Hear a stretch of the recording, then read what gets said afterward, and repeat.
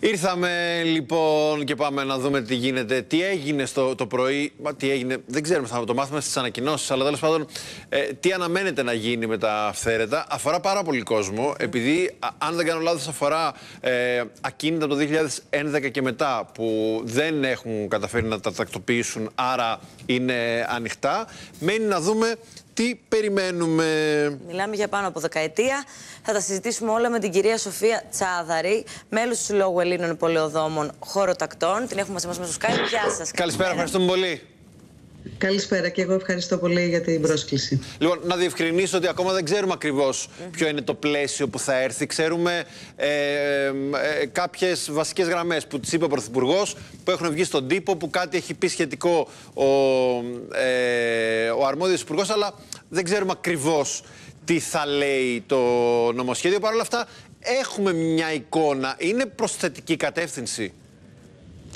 Ε, θα ήθελα να πω ότι θα θα ήμουν μάλλον επιφυλακτική ε, σε σχέση με αυτό. Καταρχάς να σας θυμίσω, ήδη το αναφέρα για, για την ημερομηνία της κόκκινης γραμμής ναι. που είχε τεθεί το 2011. Ναι. Από το 2011 ε, έχει μπει η κόκκινη γραμμή για την αυθαίρετη δόμηση. Ναι. Και επειδή είναι ένα φαινόμενο που έχει πολύ μεγάλο ιστορικό βάθος στην Ελλάδα, δηλαδή εξηγείται το γιατί δεν είναι εύκολο και για την πολιτική ε, να τελειώσουμε αυτό. Ωστόσο, αυτός είναι και ο λόγος που από τις διατυπώσεις που βλέπω να κυκλοφορούν στον τύπο ε, θα ήμουν εξαιρετικά επιφυλακτική για το αν θα είναι ε, καταφερτό να τελειώσει αυτή η συζήτηση. Ούτως ή άλλως ακόμη και οι ίδιες αυτές διατυπώσεις αν δείτε μιλάνε για παρατάσεις για τα μεγάλα αυθαίρετα ε, της λεγόμενης κατηγορίας 5. Ε, δεν κλείνουν την πόρτα στην εκτός σχεδίου που είναι ένα θέμα ε, που έχει και μια σχετική διακριτότητα σε σχέση με τα αυθαίρετα και αν θέλετε μπορούμε να το συζητήσουμε.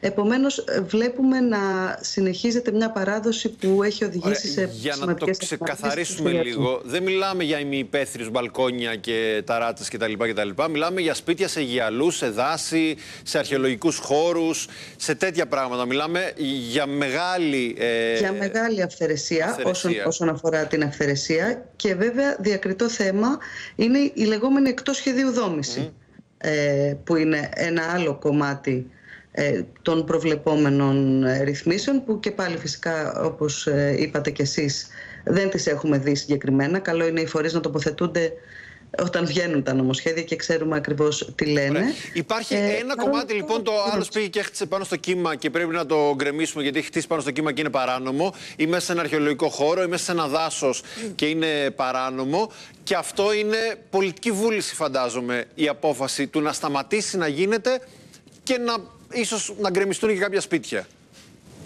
Και κοιτάξτε να δείτε, νομίζω ότι αν αυτό το λέγαμε πριν από 10 χρόνια, Πόσο μάλλον σήμερα που σε αυτό το πλαίσιο της κλιματικής ε, κρίσης, των φαινομένων που είδαμε στη Θεσσαλία, αν θέλετε πριν από κάποια χρόνια ε, του, της καταστροφής στο μάτι. Ε, πρέπει να, να γίνει κάπως ε, κατανοητό ότι η, η γη δεν είναι μόνο ένα οικόπεδο για να το χτίζουμε πρώτον και για να το χτίζουμε χωρίς κανόνες. Έχετε δηλαδή, δίκιο που αναφέρεστε στο μάτι. Με συγχωρείτε που σας διακόπτω, γιατί μετά την ε, δολοφονική πυρκαγιά στο μάτι, συζητούσαμε για πολύ καιρό μετά για το που χτίζονται τα σπίτια, πώς χτίζονται τα σπίτια. Το μάτι δεν είχε σχέδιο, το μάτι δεν είχε φτιαχτεί σωστά, ναι, το μάτι αυτό, το μάτι εκείνο. Είχαν τότε, θυμάμαι, να, ε, κάθε τρεις και λίγο να βγαίνει το νέο μάτι, η τάδε περιοχή, το νέο μάτι, η δίνα περιοχή και τελικά δεν κάναμε τίποτα και για να το κατανοήσουν και οι, οι ακροατές σας, γιατί δεν είναι ειδικοί του σχεδιασμού, όμως ξέρουν τη, τη χώρα μας, έτσι. Ο τρόπος για να χτίζεις μάτια και τέτοιους ναι. οικισμούς είναι η εκτός σχεδιοδόμηση. Δηλαδή να χτίζεις σπίτια στα τέσσερα στρέμματα ή και λιγότερο όταν υπήρχαν οι παρεκκλήσεις, χωρίς να υπάρχει ο σχεδιασμός ενός οικισμού με τις υποδομές που πρέπει να έχει αυτός, mm-hmm. τους δρόμους και ό,τι άλλο συνεπάγεται ένας οργανωσμένος οικισμός. Άρα ο, ο μηχανισμός για να χτίζουμε οπουδήποτε και είτε αυτό να οδηγεί σε μάτια, είτε να οδηγεί σε καταστροφή της παραγωγικής γης, δηλαδή η ύπεθρος και όλη η γη δεν είναι μόνο οικόπεδο ε, για να χτίσουμε. Ναι. Επομένως περί αυτού συζητάμε. Ωραία. Στην ουσία, από αυτά τα λίγα που ξέρουμε, υπάρχει κάποιος κόσμος που ε, θα πρέπει να κάνει κάτι, υπάρχει κάποιος κόσμος που κινδυνεύει να δει το σπίτι του. Κινδυνεύει, τέλος πάντων. Ε, υπάρχει περίπτωση να δει το σπίτι του να γκρεμίζεται, υπάρχουν τέτοιες περιπτώσεις, ή απλά πάμε από την αρχή; Κοιτάξτε, νομίζω ότι τώρα θα μιλήσω έτσι με έναν κίνδυνο να, να βασίζομαι βασικά σε αυτό που θεωρώ ότι θα γίνει. Με αυτό τον κίνδυνο συζητούμε ε, όλοι, γιατί δεν έχουμε το νομοσχέδιο. Ναι, δεν έχει φανεί ότι θα πάνε να γκρεμίσουν τα σπίτια των ανθρώπων τόσο εύκολα, ειδικά αυτά που έχουν ε, πραγματοποιηθεί πριν το 2011. Ε, ωστόσο, τι να σας πω τώρα, αυτό είναι θέμα πολιτικής βούλησης, δηλαδή δεν το ξέρω. Και δεν ξέρω ποια και πότε πρέπει να, να γκρεμιστούν. Δηλαδή υπάρχει και το θέμα της ανισότητας. Από τη μια δηλαδή ε, πρέπει να τονίσουμε το γεγονός ότι δεν πρέπει να, να χτίζουμε αυθαίρετα, δεν πρέπει να χτίζουμε όπου να είναι όλα αυτά ε, που ανέφερα προηγουμένως. Από την άλλη δεν μπορεί κάποιοι να είναι πιο ίσοι. Ναι. Δηλαδή του ενός να τον κρεμίζουμε και του αλουνού που είναι και μεγαλύτερο να του δίνουμε παράταση να το τακτοποιήσει. Σωστό. Γι' αυτό μάλλον είναι και πιο εύκολο να μην γκρεμίσουμε τώρα από αυτά τα σπίτια ε, και να δούμε από εδώ και πέρα τι μπορεί να γίνει. Πιστεύετε εσείς πραγματικά θα, μπο θα μπορέσει να γίνει κάτι, ή είναι ένα πράγμα το οποίο το συζητάμε για ακόμα μια φορά; Θα τελειώσει και αυτή η θητεία της Νέας Δημοκρατίας, δεν θα έχει γίνει τίποτα και θα περιμένουμε την ίδια ή μια άλλη κυβέρνηση πάλι να συζητάμε τα ίδια πράγματα; Δεν αισθάνομαι αρμόδια να απαντήσω γι' αυτό. Ναι. Πρέπει να το απαντήσει η κυβέρνηση. η κυβέρνηση όταν βγήκε είπε ότι θα καταργήσει την εκτός σχεδιοδόμηση. Το ναι, θυμάστε ναι, αυτό; Ναι, ναι, βέβαια, βέβαια.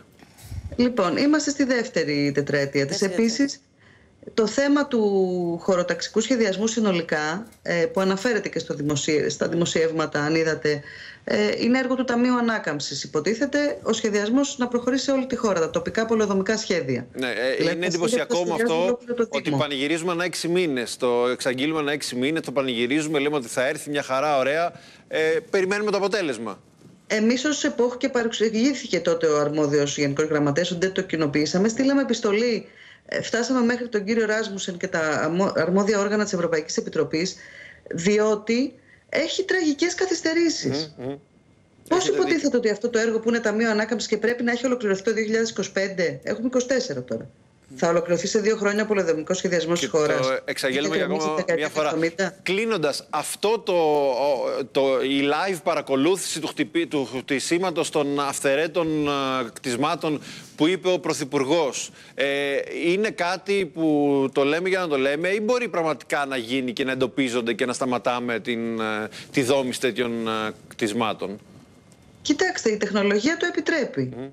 Αλλά ε, σας ξαναλέω ότι όλα αυτά τα θέματα, όπως και η αυθαίρετη δόμηση, όπως και η εκτός σχεδίου, έχουν στην Ελλάδα ρίζες που δεν είχαν να κάνουν με το ότι δεν μπορούσαμε να τα βρούμε. Δηλαδή το πρόβλημά μας δεν ήταν ότι δεν ξέραμε που είναι και τώρα θα μας τα βρίσκει το σύστημα. Ναι. Το πρόβλημα ήταν οι σχέσεις που δημιουργούνταν με αυτό. Δεν πέραμε απόφαση να, να, να, κάνουν, να υλοποιήσουμε. Ναι, εντάξει. Η αλήθεια είναι ότι. Δηλαδή είναι σοβαρό θέμα, μεγάλο. Η αλήθεια είναι ότι ναι, έχουν περάσει πάρα πολλοί υπουργοί. Έχουν περάσει πάρα πολλοί υπουργοί που λένε θα γκρεμίσουν, θα ναι. κάνουν, θα αράνουν και. Μπορούν να εντοπίζονται. Αυτό ναι. είναι αλήθεια. Αλλά δεν νομίζω ότι ως τώρα το θέμα ήταν τεχνικό, ότι δεν τα ξέραμε που είναι. Κυρία Τσανδάρη, σας ευχαριστούμε πάρα πολύ. Εγώ ευχαριστώ. Περιμένουμε να βγει το νομοσχέδιο για να το συζητήσουμε ξανά επί του πρακτέου πλέον, επί των κειμένων. Ευχαριστούμε πολύ. Να είστε καλά, ευχαριστώ πολύ. Καλό απόγευμα.